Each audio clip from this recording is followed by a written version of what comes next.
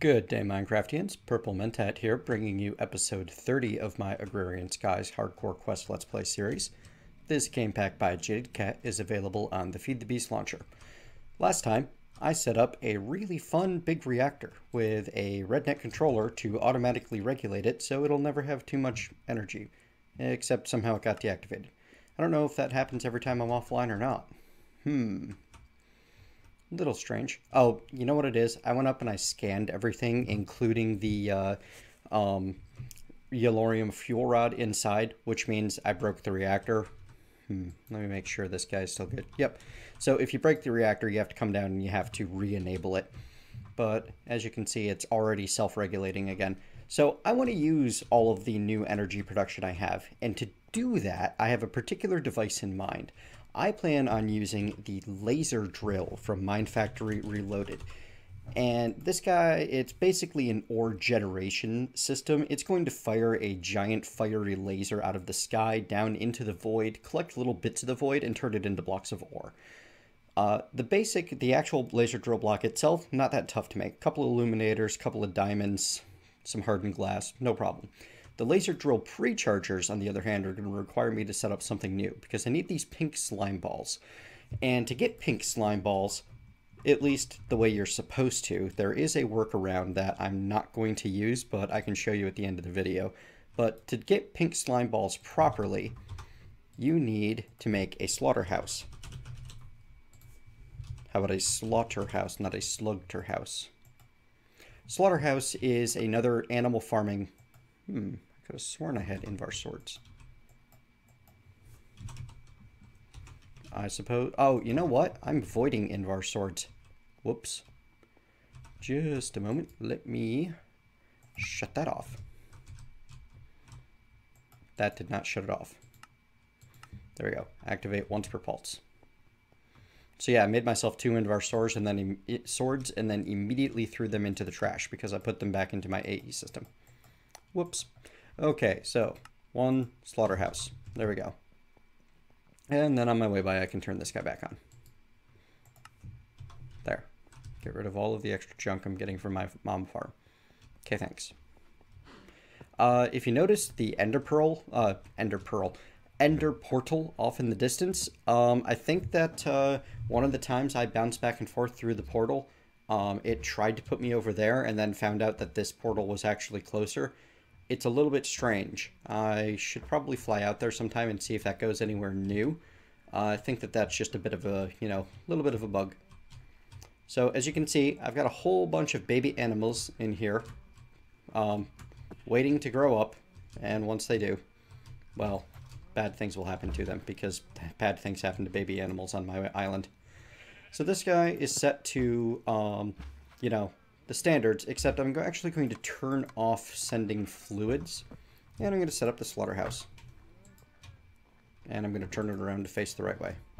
Slaughterhouse is a lot like the grinder, except when its um, idle bar empties and it kills mm. animals, it will either create um, liquid meat or pink slime. Sometimes a little bit of both.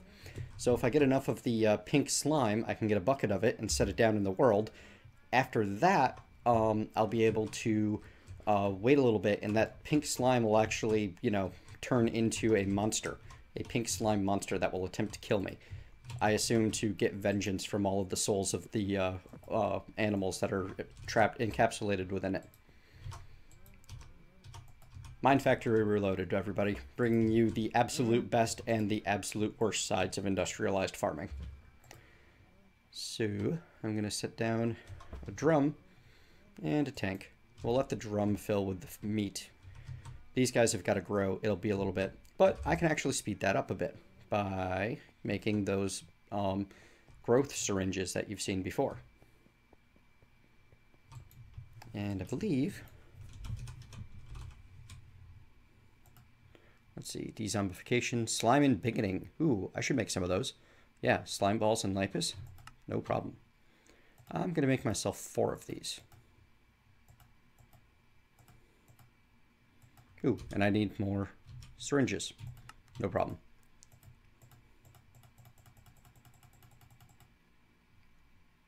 Out of plastic. Nine will do. And then I can use the growth syringe to speed things along. But to make growth syringes, I need golden carrots, which take golden nuggets, or you can make them cheaper in the smeltery. Um, at the moment, the, or no, the golden carrots you can't make any cheaper in the smeltery. The golden uh, apples you could. At the moment, though, I just don't care. Like gold is not a not a precious resource anymore.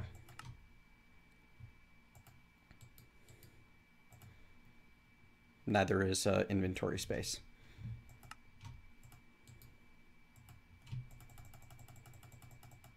There we go.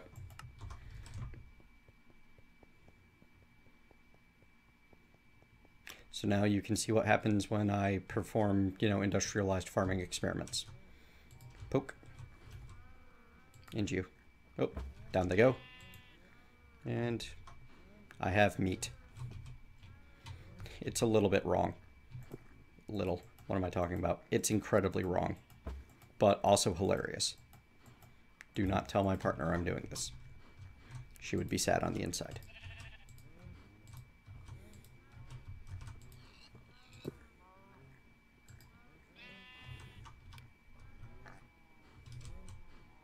There's a way to make this process even faster and more efficient later on.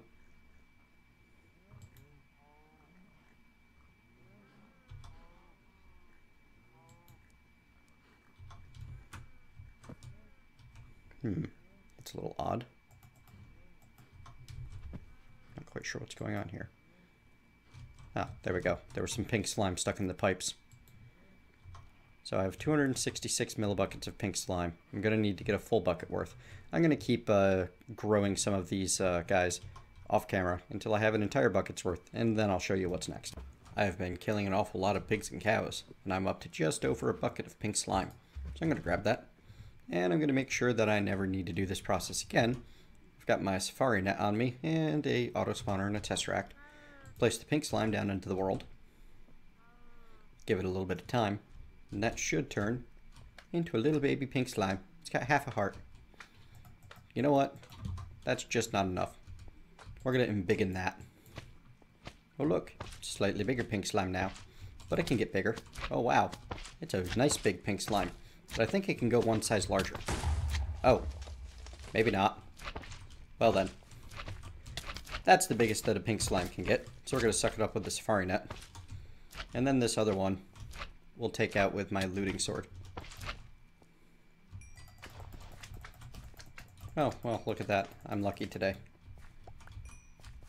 So I got plenty of uh, pink slime balls, but I'm going to want to be able to make more of these later, so having the reusable safari net full of a large pink slime will be worth it. All I need to do if I want more, you know, set down the auto spawner, put down the uh, rack on the spawner frequency, set it to receive all. That'll work and it's getting its power, it's getting its mob essence. And you know what? I'm going to put a lever on it before I start spawning an entire legion of pink slimes. Toss in the uh, safari net. You can see it's going to be idle, but if I turn the lever off, I can actually turn it right back. Oh, no it won't. So I can turn the lever off and I can wait most of two seconds, or actually um, seven seconds, and one appears and then I can turn the lever off and one and no more will appear.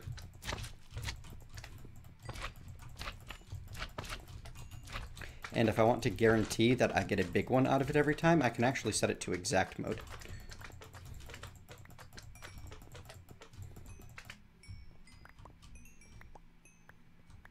However, as you can see, if I put it to exact copy mode, it takes an awful lot more work, 50 instead of 15. There we are. Most of a stack of pink slime balls. So I'm going to go make my laser drill and my laser drill prechargers. Prechargers, ironically, are going to be easier to craft now that I have the pink slime balls. But either way, I'm going to need a total of six glowstone illuminators, and you remember how those are made.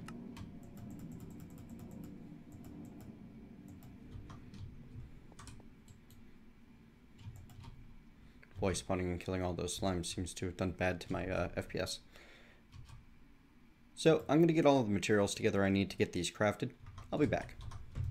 Alright, got my illuminator's done cooking up. Going to make the laser drill uh, pieces now. Also, I made myself two more uh, resonant energy cells and two more tesseracts for this. I'm not sure if I'll need both tesseracts, but I'll definitely need both of the uh, redstone energy cells. So there's my laser drill and my four laser drill pre-chargers. Hey, you know what would be great if I remembered to make all of the components? Let me take care of that. Let's try this again. Laser drill pre-chargers. Needs pink slime balls. I'm Gonna make one, two, three, four of them. And that's the maximum that a laser drill can use. Now, uh, you know what? I want a handful of elevators. So that I can get up to where I'm going to place the laser drill. Yes, up. It's going quite a ways up. You know? I'm just going to make a whole bunch. I got a whole stack of elevators now. I use the things often enough. Raw meat nugget. I love how it's in quotation marks. Uh, yeah, that's what uh, the big pink slime dropped when I accidentally made it explode. So why do I need all these elevators? Well, I'm going up, way up. The laser drill is best placed at um, Y128 or above because it is most efficient when it is highest. Uh, let me get some border stone. I want the original four along. Trip upward.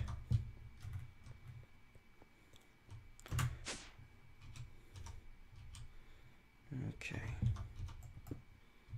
And how am I going to get up there? Well, in the usual method, that is noob tower.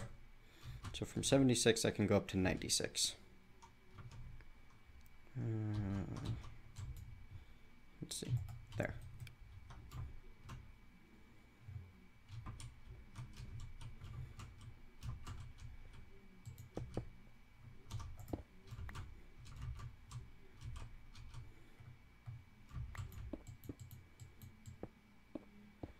Course, without uh, bringing any dye with me, I'm not going to be able to, yeah, set this elevator properly. Hang on. I'm going to make some dark gray dye and re-dye my elevators. Alright, so, as I was saying, up to 96, and then from there to 116, and then from there to, oh, 130.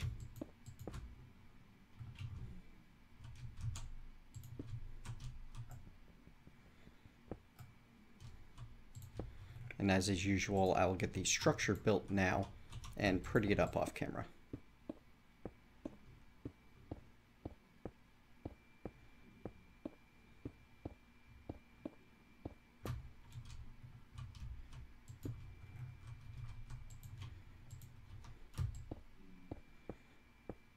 Do not slip. I don't care how many hit points you has. If you're falling well, actually, no, I could probably survive this fall without any trouble whatsoever.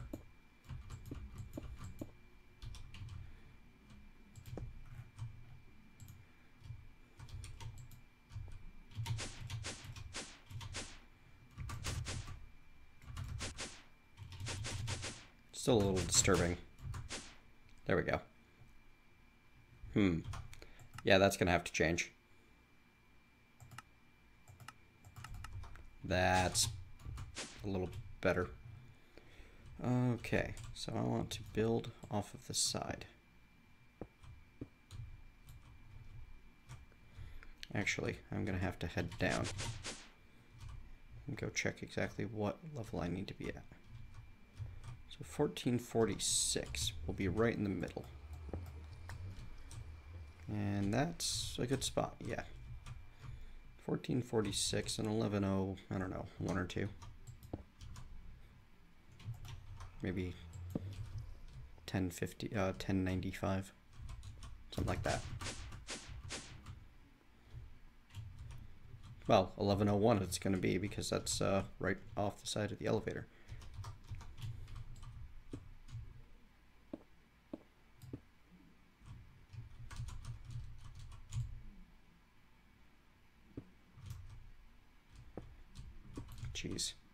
Is it 1446? I can't remember. Let me go check.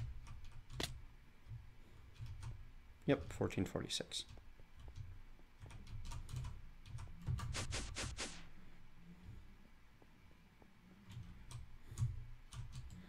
Definitely feeling a little OP at the moment. Uh, and actually, I think that that's right where I want the laser drill itself to be. Put one pre-charger here. And I'm going to get my builder's wand. And set down a little border stone path. You know what? I'm not going to use the builder's wand. I don't want a platform. I just want a little path going around the edges.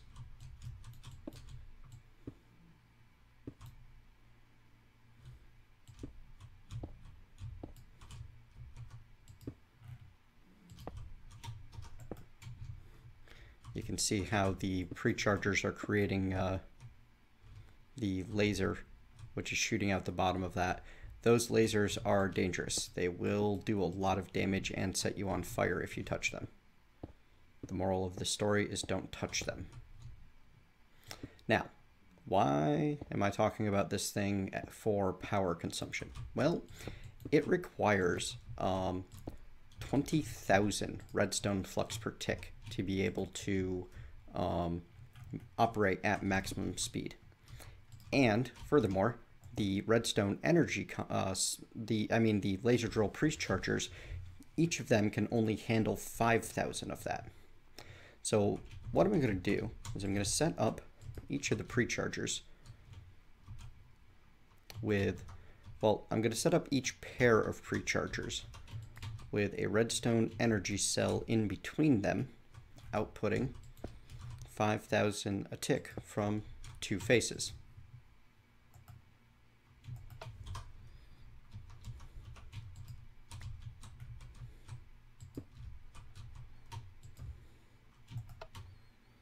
Um, let's see, that's going to be the front face and the right face. And the top face is going to be the input. It's going to accept up to 10 and only output 5. And then the tesseract is going to go right there. It will be set to default. It will provide, um, let's see, I want it to receive none actually at the moment. I'm terrible at this. All right.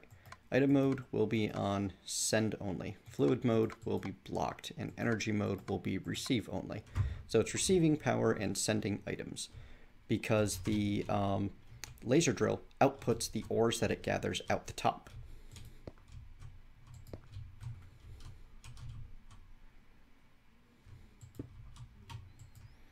And this again needs to output left, uh, front and right and input top. Now all I need to do is hook up the conduits to the tesseract.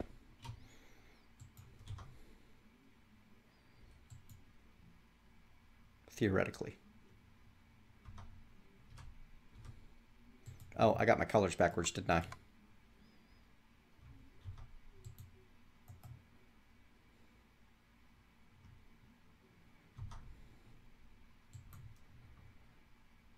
Hmm, let me go check into this. Something weird be going on. Okay, so this was actually just a display error. The redstone energy cell, resonant energy cell is in fact getting power. It was just outputting power exactly as fast as it was getting it.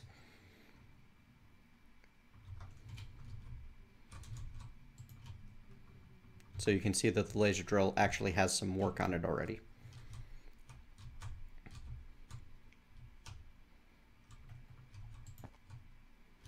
And if I come over here, I can take a look at this pre-charger and I can see that its energy is fluctuating because it is getting and spending energy just as quickly as it can.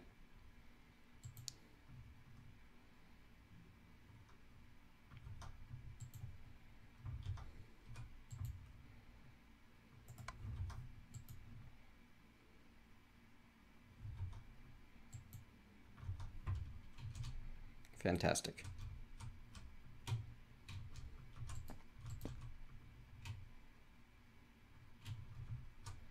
However, I no longer seem to be supplying enough power on that frequency. Because uh, my... Oops. I don't know what I just did.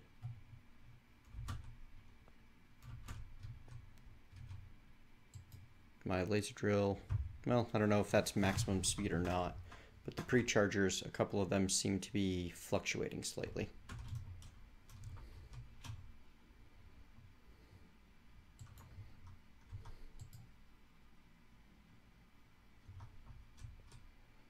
Might try to output some more energy on that uh, signal if I can. Wouldn't really be difficult. So there we go. I now have a laser drill.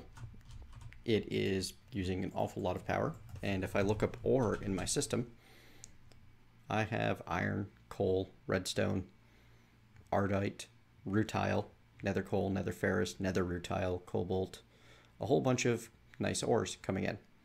So now I need to get everything set up so that the uh, system upstairs is processing the new income of ore and I need to plug this guy in so that he's uh, going to automatically refuel himself.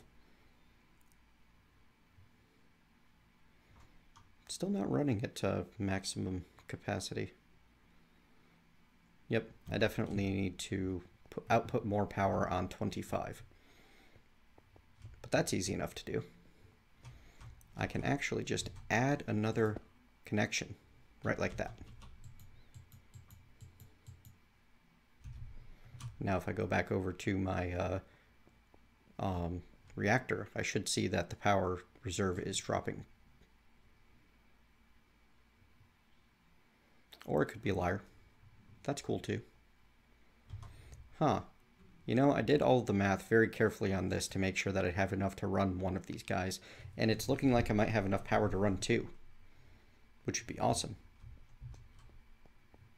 Okay, uh, let me get what I need to set that guy up to automatically refuel and to put uh, together all of the ore processing that I need for the new income. Be right back.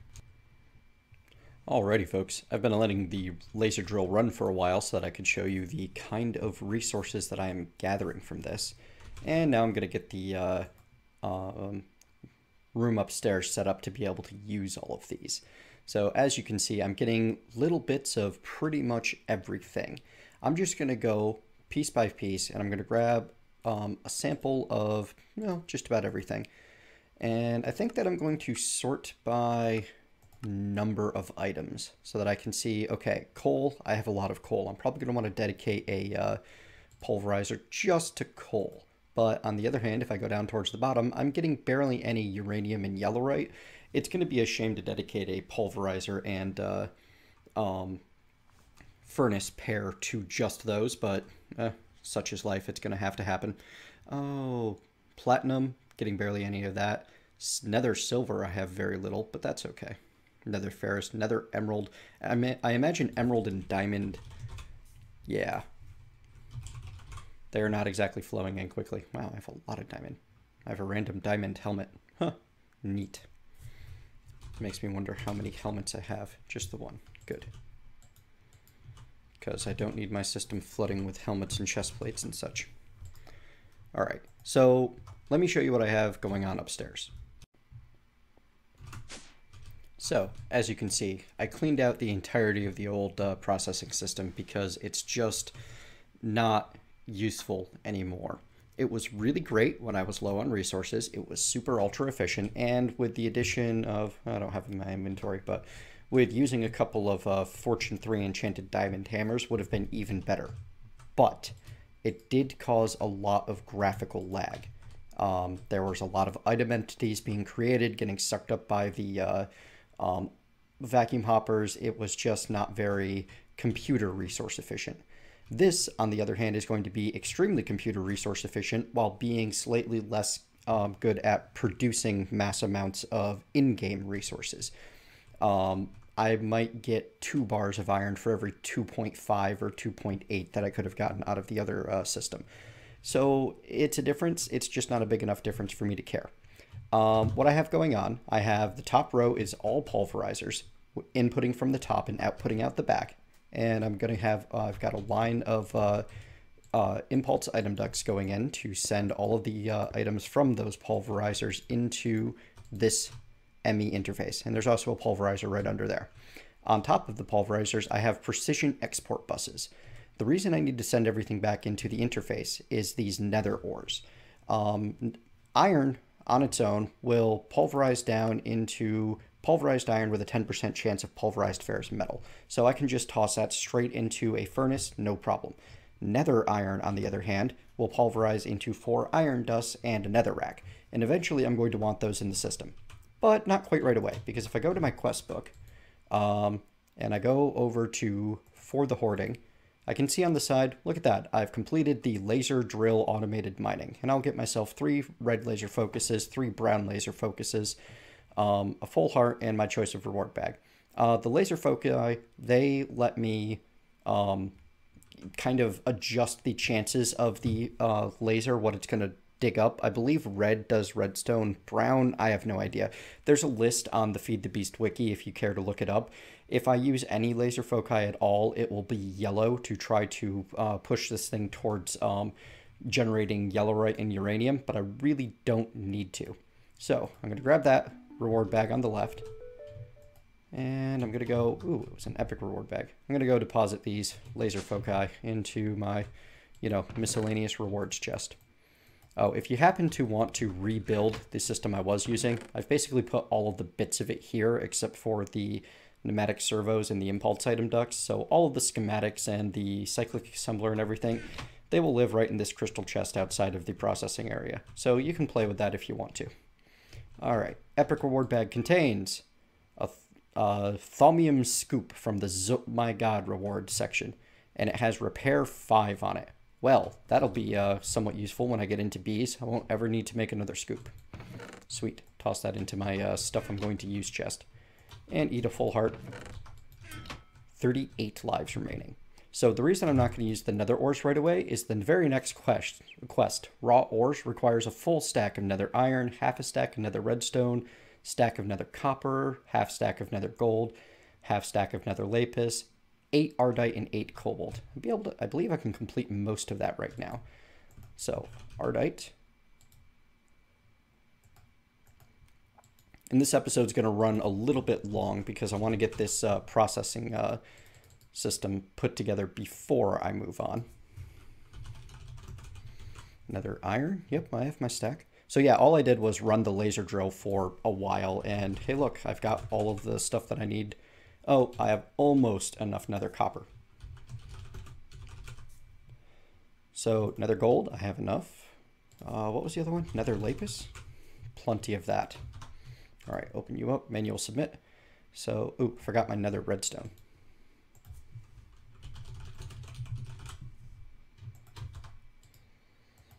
Almost done. I need 13 more nether copper, which that'll just come in time and that'll get me an Ender Quarry. That's pretty freaking nice. Uh, Ender Quarry uh, will allow me to go into the nether and mine ores uh, directly from there in an automated sort of way. Normally to make an Ender Quarry, you need one of these nether iridium, which are super, super rare and hard to get. And I don't believe I have any of that. Like, the drop chance is ridiculously tiny. Yeah, I do not have nether iridium yet they appear like one per chunk or something like that if you're lucky. It's just a crazy low spawn rate. So anyway, it looks like I can actually set up most of my nether ore already. So if I head back to my uh, system here, I can show you exactly why I wanted to separate things out. So let's set up this very first one for iron, because I have a lot of iron, and I want to start that pulverizing as soon as possible. So I'm going to put in one iron ore, and one nether iron ore, which I grabbed exactly as much nether iron as I needed and no more. Sigh.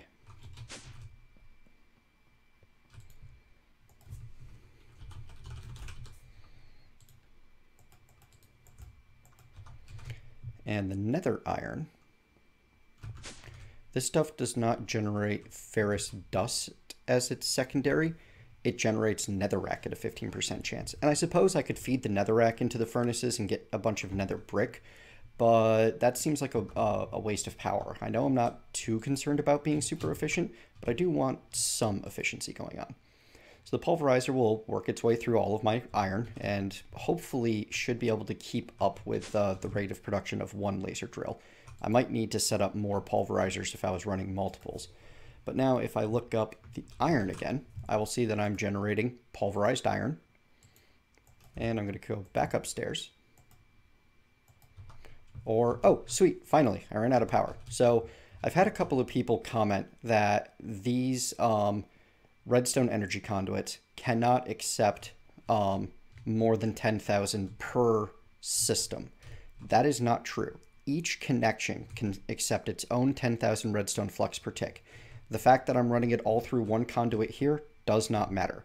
So I'm going to turn my reactor on. You'll see it get up to uh, full blast and the energy buffer is not filling. It's producing more than 10,000 redstone flux per tick, so it's going to need more than one con uh, conduit.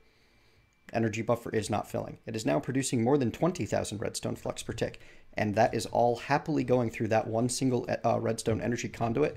I simply needed these three connections to input 10,000 redstone flux per tick each, and these three connections to output 10,000 redstone flux each and it's going to take a while for this to re-energize the entire system. But yeah, um, so that's to show you just on camera real quick that it does not matter um, how narrow you make your conduits at any point because the shape of the conduits is um, irrele irrelevant. The only thing that matters is the connections into the conduit system. You can think of each conduit system as kind of an amorphous blob where every conduit uh, connection connects directly into the central blob-shaped reservoir.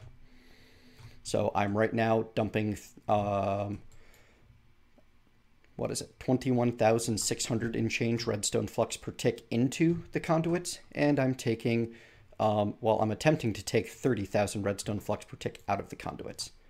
And you can see that this guy, he's now getting more power than he's uh, outputting. This one is too, and this one in the middle is not.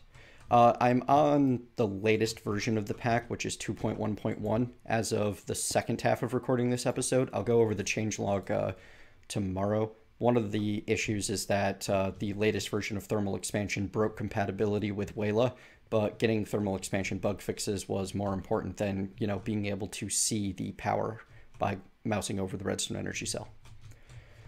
Okay, so now that everything's powered back up and I've demonstrated uh, that um, the, the proper way that the redstone energy conduits work, I'm going to come back upstairs. And I have one precision export bus pointing into this redstone furnace, which is accepting from the bottom and point, uh, going out the back. And I'm going to set that to pulverized iron. And it's going to quickly fill up with pulverized iron and start producing iron ingots. Then all I need to do is stick my impulse item duct on the back of that. And the iron ingots will start going out and into...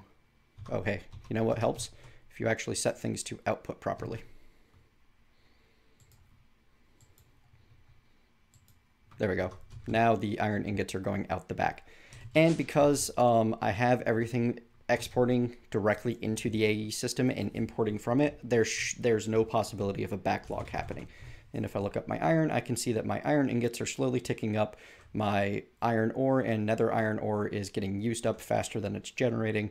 Everything is copacetic. So I'm going to set up the rest of the um, stuff upstairs to do the same thing.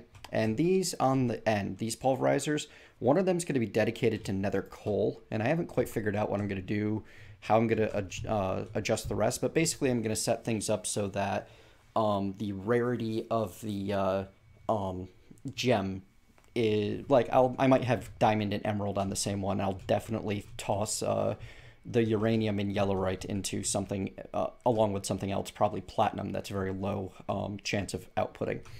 Because each one of these uh, precision export buses can handle up to eight items, which is why I'm using that kind in particular. I suppose that could be a basic, because I'm probably never going to want to do more than pulverized iron in that uh, um, redstone furnace. Anyway, once I have it all configured and set up, I will be right back and, uh, you know, we'll do the sign off thing. All right, folks, everything's all configured. Got everything looking nice up here. I am producing more yellorium. Currently have 22 extra ingots, which means I should be producing faster than I'm using. Come over here. This guy's full up. Using about mm, 11 and a third thousand redstone flux per tick. Not bad. Need to start uh, using more. Seems that the laser drill gets a, a, pretty big efficiency bonus. I thought it would take 20,000 redstone flux per tick and just work faster being way up there. Seems that it uh, actually takes half as much power and works at the same rate. So that's a little different. Got my inventory all uh, organized out here for you guys. Oops, that's named wrong. There we go.